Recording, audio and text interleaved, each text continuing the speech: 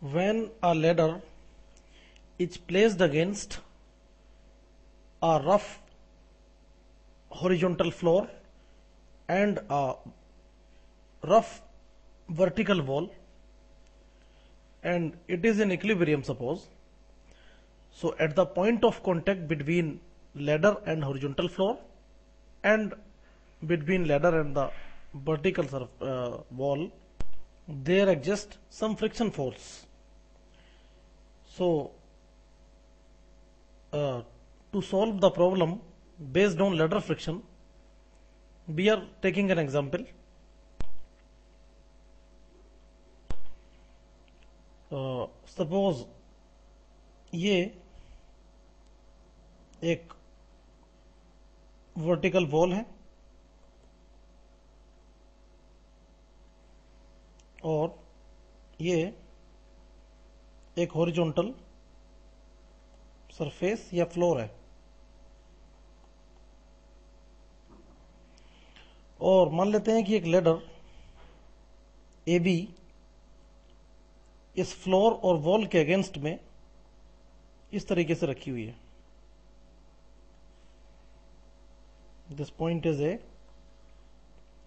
and this point is B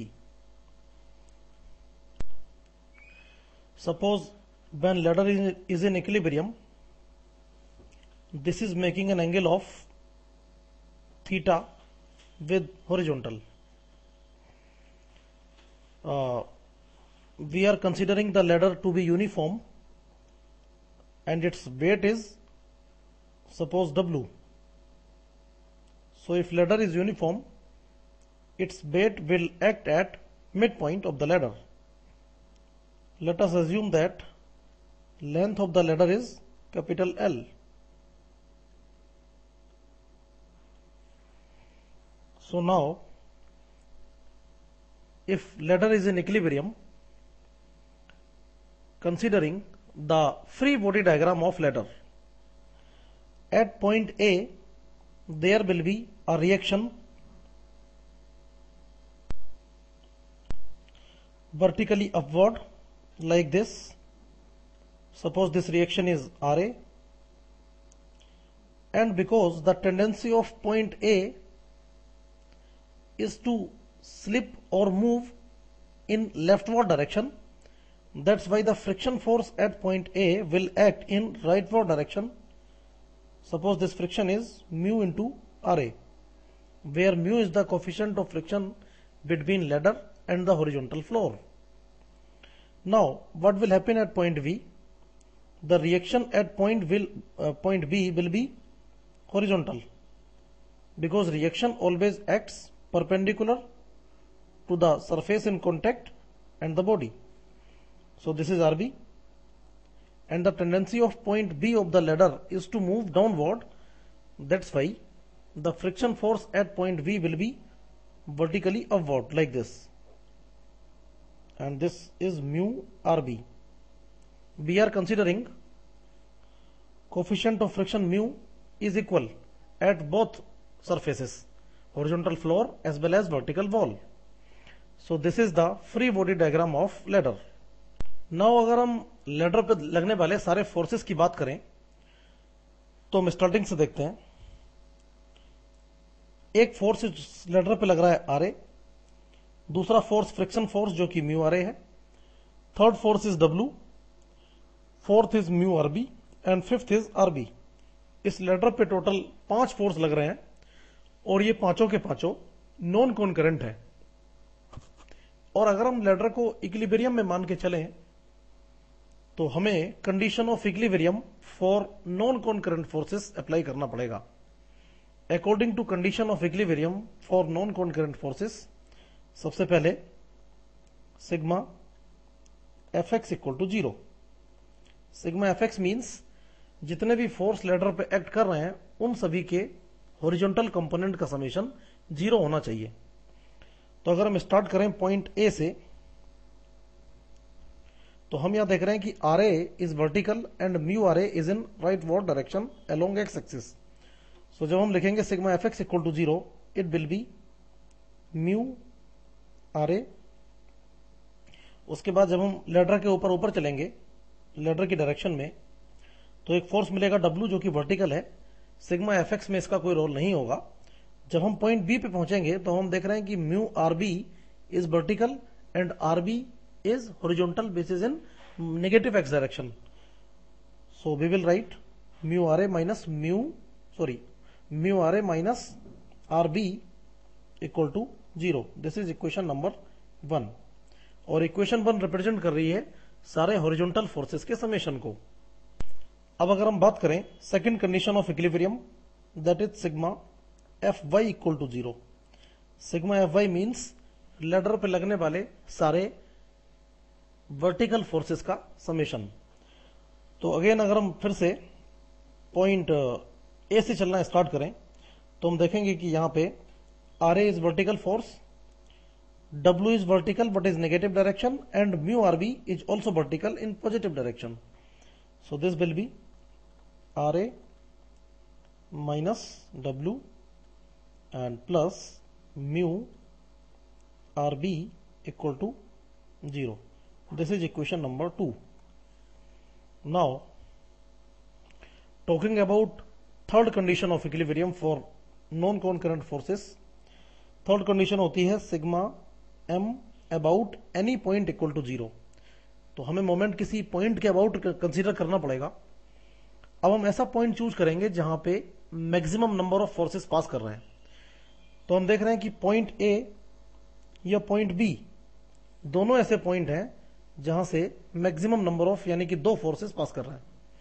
तो हम A के अबाउट सपोज़ मोमेंट कंसीडर करेंगे। Sigma M A equal to zero sigma A M A equal to zero means सारे forces का moment about point A और उनका summation zero तो फिर से हम अगर स्टार्टिंग से चलें तो पॉइंट ए पे जो दोनों फोर्स लग रहे हैं आर ए और म्यू आर ए ये दोनों ए पॉइंट से पास कर रहे हैं तो इनका मोमेंट ज़ीरो हो जाएगा। जब हम आगे चलेंगे तो देखेंगे कि डब्लू डब्लू की लाइन ऑफ़ एक्शन ये है। और डब्लू की डिस्टेंस पॉइंट ए से एल बाई टू है। तो डब्लू का मोमेंट हो जाएगा about point A W into L by two cos theta क्योंकि किसी फोर्स का किसी पॉइंट के अबाउट मोमेंट होता है फोर्स की वैल्यू और उसकी आ, जिस पॉइंट के अबाउट मोमेंट कंसीडर कर रहे हैं वहाँ से परपेंडिकुलर डिस्टेंस तो डब्लू की लाइन ऑफ़ एक्शन वर्टिकल है और इसकी पॉइंट ए से डिस्टेंस हो जाएगी L by two cos theta this distance so W into L by two cos theta जब हम पॉइंट बी पे जाएँगे तो हम देखेंगे कि mu R B is acting along vertical wall और this is the line of action of mu R B so what will be the moment of mu rb this will be minus mu rb into l cos theta.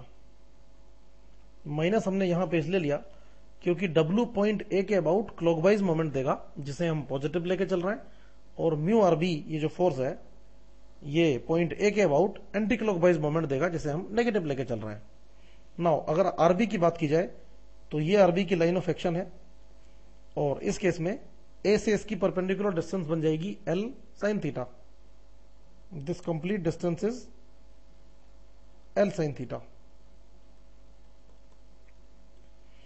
so R B का moment हो जाएगा minus R B into L sine theta equal to zero now अब हमारे पास तीन equation हुई और आपसे कोई एक अननोन पूछा जाएगा। तो इन तीनों इक्वेशन का यूज़ करके जो भी पूछा जाए थीटा या लेडर की लेंथ या लेडर का वेट हम कैलकुलेट कर लेंगे। So this is the problem this is the technique to solve the problem based on ladder friction एक न्यूमेरिकल का एग्ज़ाम्पल लेके हम इस प्रॉब्लम को और अच्छे से समझेंगे। We are taking an example in the case of ladder friction.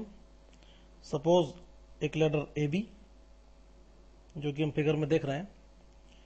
एक स्मूथ वर्टिकल वॉल यहाँ पे वॉल को स्मूथ दिया हुआ है। और रफ ओरिजेंटल फ्लोर के अगेंस्ट रखी हुई है। इक्लिबिरियम कंसीडर कंडीशन में सपोज़ ये फ्लोर से एंगल बना रही है 30 डिग्री लेडर और फ्लोर के बीच में suppose coefficient of friction mu है तो इस लेडर पे पॉइंट ए पे एक रिएक्शन लगेगी सपोज़ आर ए और फ्रिक्शन फोर्स लगेगा इस डायरेक्शन में म्यू आर ए मान लीजिए इस लेडर का वेट डब्ल्यू है, जो कि जस्ट मिड पॉइंट पर लगेगा। डब्ल्यू की वैल्यू दी हुई है यहाँ पे 10 newton okay at point B there will be a reaction R B like this और पॉइंट बी पे कोई भी फ्रिक्शन फोर्स इसलिए नहीं लगेगा, क्योंकि जो वॉल है वो स्मूथ है। अगर ये रफ होती तो म्यू आर बी के बराबर फ्रिक्शन फोर्स पॉइंट बी पे वर्टिकली अपवर्ड लगता। अब इस क्वेश्चन में हमसे, हमें फाइंड आउट करना है coefficient of friction between ladder and horizontal floor mu की वैल्यू हमें फाइंड आउट करनी है। So now we will apply the condition of equilibrium सबसे पहले। और सपोज़ दिया हुआ है लेडर की लेंथ इज़ फोर मीटर तो सबसे पहले कंडीशन ऑफ़ इक्लिब्रियम होगी sigma F X equal to zero हम अगर पॉइंट ए से स्टार्ट करें तो सिग्मा एफ़ एक्स के लिए हमारी इक्वेशन बनेगी mu R A minus R B equal to zero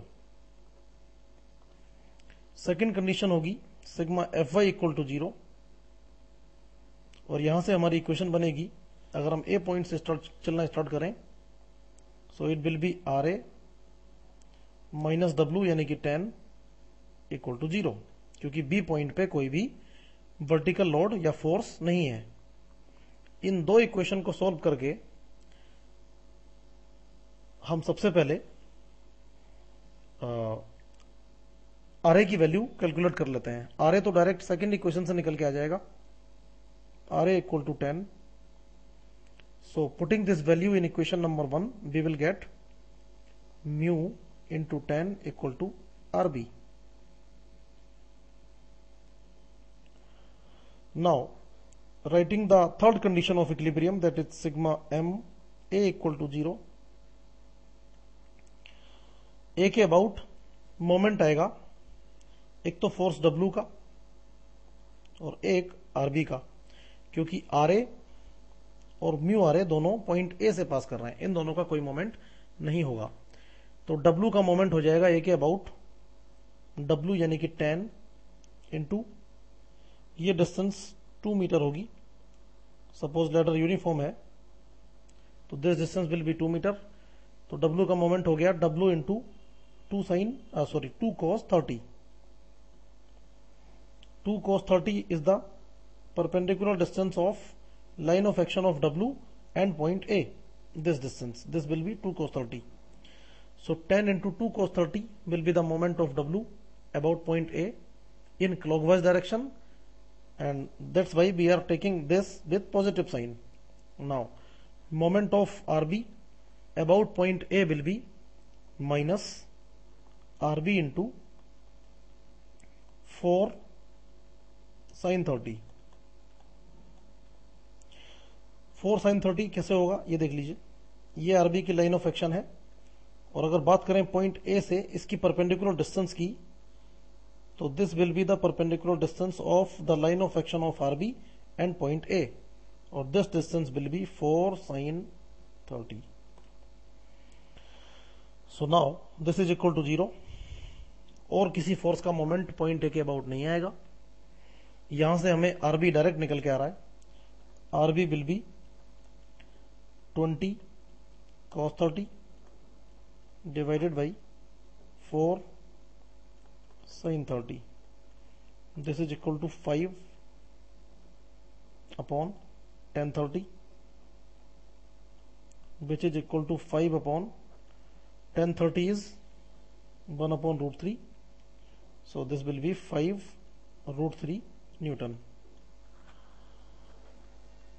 Now putting the value of Ra and Rb in equation number 1 we will get mu equal to Rb upon Ra so this will be 5 root 3 divided by 10 which is equal to root 3 by 2 or which will be equal to 1.732 divided by 2 or which is equal to 0.86 this is the value of coefficient of friction between ladder and the floor.